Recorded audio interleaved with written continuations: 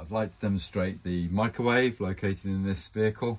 Uh, first off, we haven't got any illumination of the microwave at the moment, although we've got a main supply.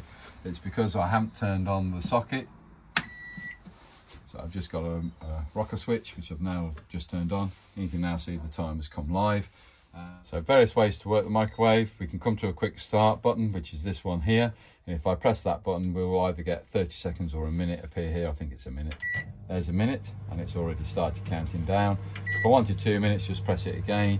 If I want to stop that, uh, that's how the clock at one minute 53. I can open up the door, press that button in there. I can remove the contents and do whatever I need to, give it a quick stir if necessary, turn it, push it back in and continue by pressing start again and the counter starts to go down as you can see or stop and clear, press it a second time on the stop button. That's now brought you back to the original timer. So if I wish to go into more programming of the microwave, I can come onto the microwave switch, which is between the start and the stop button, which is this one here. And as you can see, I've got flashing symbol, that's 100% that's saying. But as I turn this button here now, you can see that I'm changing the power level. So I can go to 80%, 50%, 30%, 10%, etc., or back to 100%. Confirm the level that you want to go at, which is that now. And then you come on to the timer that's seconds I'm now putting into it. There's a minute, for instance, and I can rotate this valve here and it just goes all the way through to wherever I want it to go to, say 15 minutes then in this case. Okay, that's okay. Press start and that's now working, timing down on the, on the timer.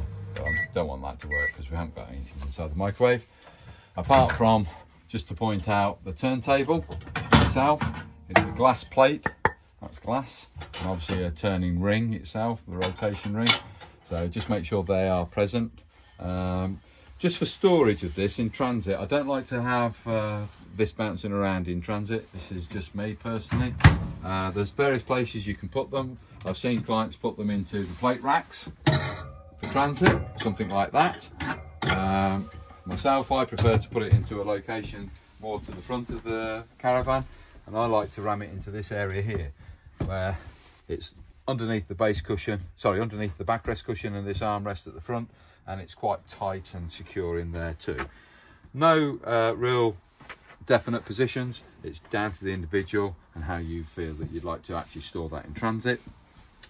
Uh, but as I say, for when in use, just make sure that you have got those correctly positioned. It's going to rotate when, uh, when required. Obviously illumination of the microwave inside and you can also go into an auto mode and defrost by weight etc etc but that's down to you to program thank you for listening to this video